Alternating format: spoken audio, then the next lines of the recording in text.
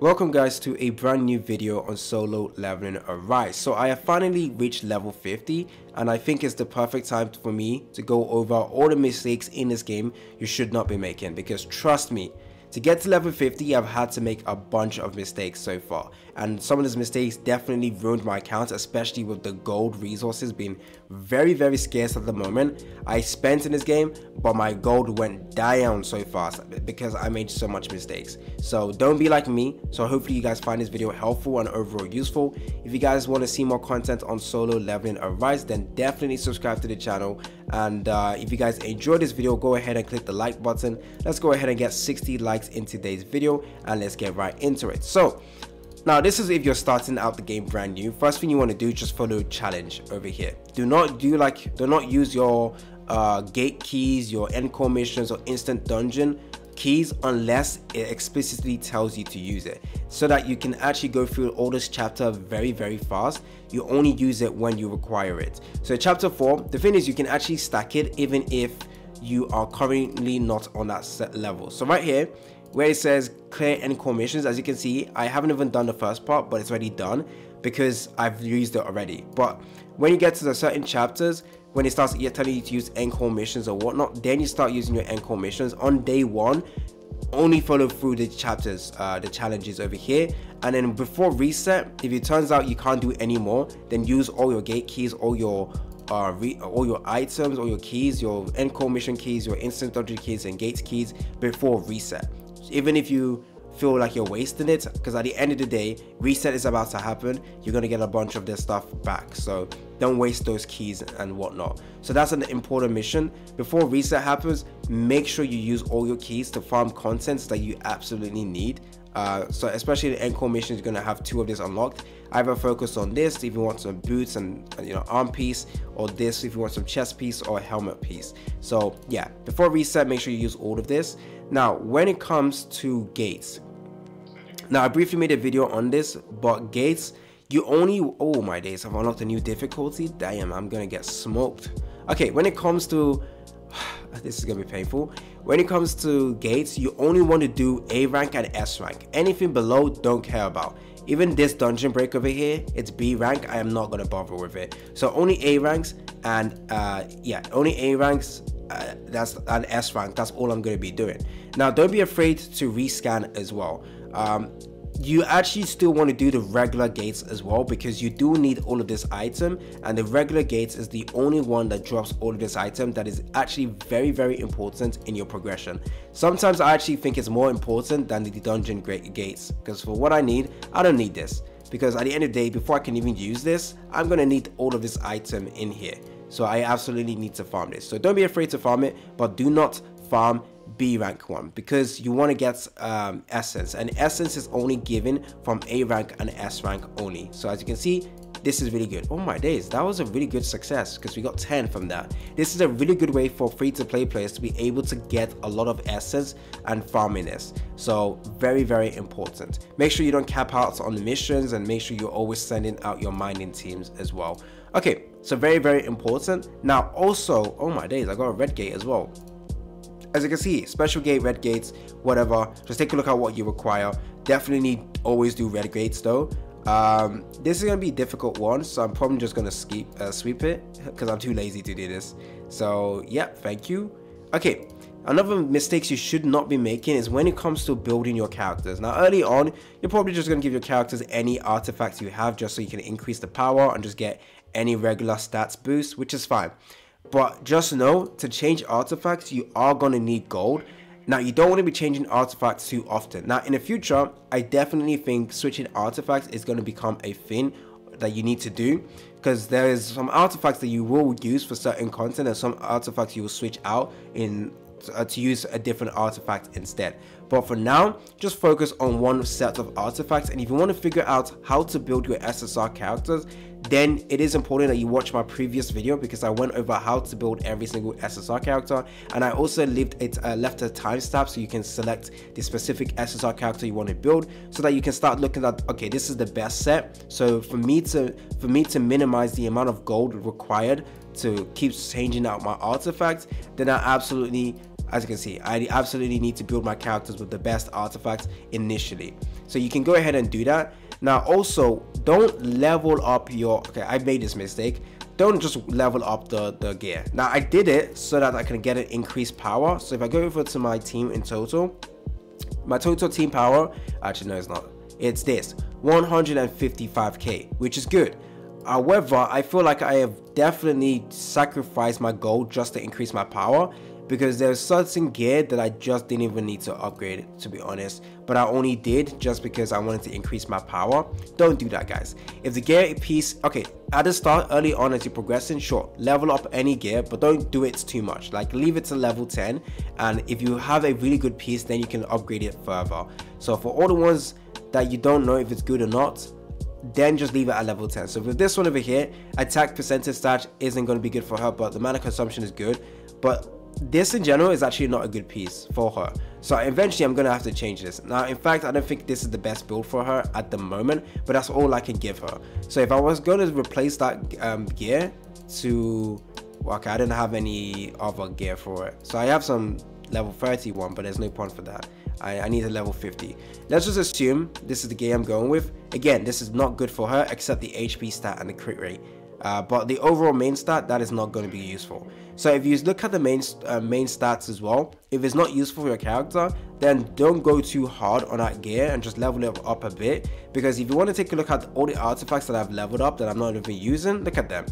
These are all the artifacts I have leveled up but I'm not using. This is a bunch of waste of gold that I've done. Again as you can see artifacts that I'm not using and it's a waste. And that's only for the boots. So don't do this mistake like I did where I leveled up a bunch of artifacts that I know I'm going to replace. That's a waste of gold by the way. Waste of gold waste of resources. Do not do that. Okay. So yeah making sure that you keep with your gold as well. Do not level up a lot of characters okay? Um, I was able to do that because well I spent. But if you guys are free to play level up only three characters at the start and they have to be the best characters. So when it comes to ssr characters that you want to know who's the best well i've already made a video on that separately but just to summarize she is good he is good he is good he is good he is good. Do not level up. She's good as well. Um Sio, um there's a couple of other ones i have i don't have sorry. Sio, she's good to build. Do not build him. But if it's an ssr technically just build every single ssr character so uh yeah okay go back to hunters. So like i said only focus on three characters. Now obviously if you re-rolled in this game that would be perfect. You start off with either one ssr or two ssrs that would be perfect. Just level up any ssr character you have in general. Now when it comes to sr units that are actually good you have her. She's good for break and freezing. You have her as well. And if you don't have this guy as your healer then you can level her up as well. But only stick with leveling up three characters, your main three hunters, guys. Only focus on them because you are going to need to level up their levels and it is going to take gold as well. So yeah, only focus on three guys. So I'm going to go ahead and just level them up right now. Perfect. Now, if you guys know that you're going to be getting a bunch of, actually on day one, you should be able to do like 80 summons or day one or day two at least 100 or over 100 summons. So your chances of putting multiple SSR is a lot better there. Um, so you don't have to focus too hard on your SR characters to be honest. Um, just because you you will get an SSR character in like day two or even day one if you are actually you know spending time to play the game and progress as far as possible. Um, it is possible. So um, yeah only focus on three main ones but like there's a couple of SR characters you can go ahead and build but uh, don't stretch your resources thin as well. Now when it comes to character weapons as well, just leave it to level 20 guys. There's no point in trying to limit break it because it just you won't have resources actually to even limit break it early on. And even then there's no point in doing that. If you take a look at my characters the only ones i've limit broken are the ssr ones. So if i go over to my uh, team and then i'll show you guys the weapons as you can see. What i mean limit break yeah is it limit break? When you let, let me go to this. It's called Limit Break. No, not this, sorry. Let's let's see. Nope, not that as well. Uh, I'll go over to here. Yeah, limit break. Do not limit break it. So like this, I wouldn't do it for SR weapon. I'll just leave it at level 20 for now. Um, this is fine because eventually you will be able to start crafting some SSR weapons. So I only focus on limit breaking my SSRs in general. For the SR weapons for my hunters, I just left them all at level 20 as you can see. All at level 20. Now when it comes to Song Jin-woo, you absolutely want his weapon. It's a mistake going into this game is thinking you only need to focus on hunters. Honestly, in terms of progression, having Song Jin-woo's weapon will allow you to progress story a lot better.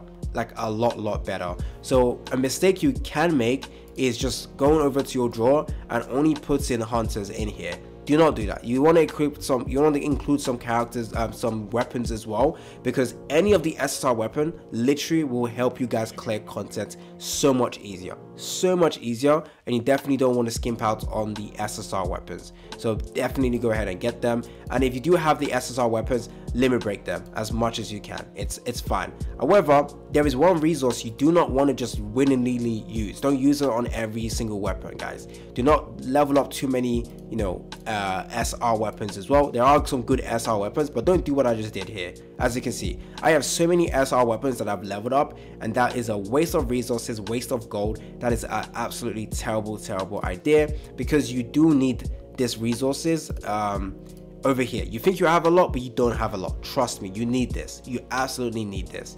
So, um, so as you can see, I'm, I'm literally dry. So for the SSR, you want to focus on them for SR, just leave it at level 20, but do not level up too many SR weapons as well. Uh, so yeah. Now in terms of progression, progressing, progression, um, a mistake you can make is excluding or forgetting that there is a bonus attribute or recommended attribute. This is definitely going to be very useful guys if you guys are stuck in a particular content just to get extra damage definitely take a look at the recommended attribute and then you can give your Song Jin-woo the weapon and also the characters as well. So this one would be Wind. I don't have any SSR Wind character. Actually, do I? I have this guy. So as you can see, it has a uh, increase button over here, which will be good. But um, I, I well, my current level right now is is good enough to you know challenge this. But early on, definitely take a look at the recommended attribute, and then you can use those characters or that weapon if you have them available. Okay, another mistake you can make that I would recommend not you not making is forgetting about the exchange shop. You will have the exchange shop on day one, and if you you know play through the game, you will unlock the gates as well, and you get this from mining. Now, early on, buying the instance dungeon and the encore mission keys are very, very useful. So absolutely grab them. Do not make the mistake of forgetting about this. This is very, very important. As well as over here, in general, there's the celebration uh, coin section. Go ahead and get, okay, there is another version of this one with the blue resources so only get that one for the rune fragments this is very very important now for the red ones don't don't bother only use it to buy the uh, summoning tickets. Uh, so for weapon materials as well, don't forget, don't make this mistake by the way, there are some weapons that you will, do not need. Um, for hunters though, I've realized that early on, you will not have weapons for hunters. So keep the R weapons for hunters. But for your Song Jin-woo, the R weapons, if you have a lot of Song Jin-woo weapons and you have even SRs and SSR, then you can forget the R weapons. Totally forget the R weapons. And what you want to do with the R weapons is actually go over to here, go over to salvage, select all, and the R weapons for my Song Jin-woo I always sell. Now early on you might not want to sell them if you don't have any SR weapon for your Song Jin-woo but if you start having a lot of SR weapons for Song Jin-woo, then yeah, forget the S um, and the R weapons. So I'm gonna do this right now. This is not helpful. Okay, now for the hunters though, you might actually still use R weapons. That you, you guys saw me use some R weapons as well. Um, so if I take a look at my hunters, there is a R weapon that I do do use, which is this one, I guess. I'm pretty sure I had another one. Where is it? Okay, maybe it's not on this account. But I'm pretty sure I leveled up this one. Where is it? Huh, okay. So yeah, I did level up one SR weapon, uh, R weapon, but uh, I definitely regret this because I'm not using this on any character. But it helps with getting precision stats, uh, which is useful as well. Okay, now when it comes to another mistake is uh, the wrong build for your Song Jin-woo. So, okay, you do want to get artifacts. Okay, right now, actually, early on, Actually, no, you know what? I'm going to forget about that.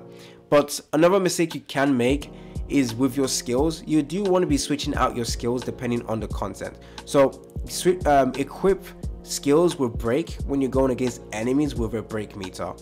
And then if you're not going against enemies with a break meter, you switch out those skills for other skills over here that just has higher percentage in attack or damage in general, which would be better.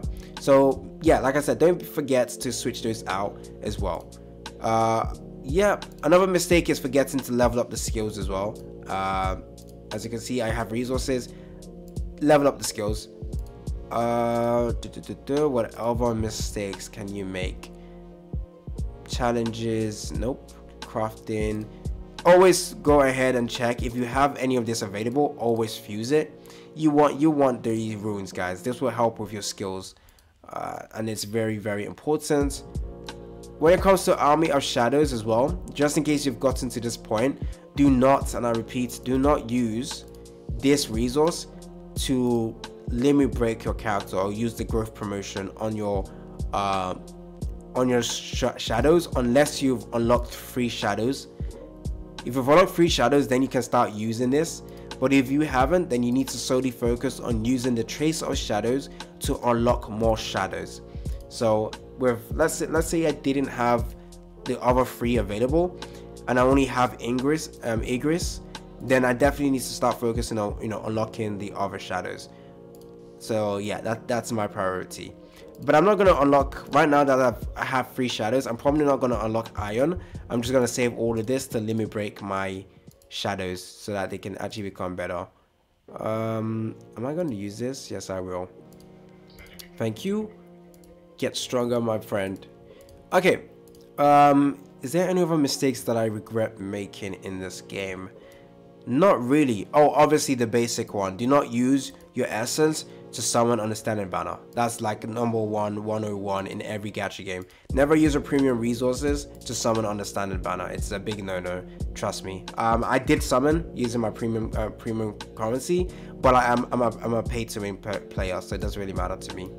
Uh, so yeah, I think that is pretty much it in terms of mistakes you can make in this game and mistakes you shouldn't make in this game always take a look at the event section over here just to make sure you've obtained every single item in here so that should be good and i'm pretty sure that's it that's all the mistakes i make the, the most the, the most impactful mistake i've made is when it came to using my gold for artifacts. I, I went crazy. I went too hard on artifacts for no reason.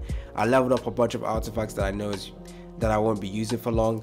So, and I didn't even know which build was the best for my characters early on. So I, so I made a mistake of leveling up artifacts that are not going to be useful for my useful for my character. So, make sure you are watching guides. By the way, I released a bunch of guides on this game as well. Uh, so yeah, it's been your boy AC Gamer. Don't forget to like and subscribe, and I'm out.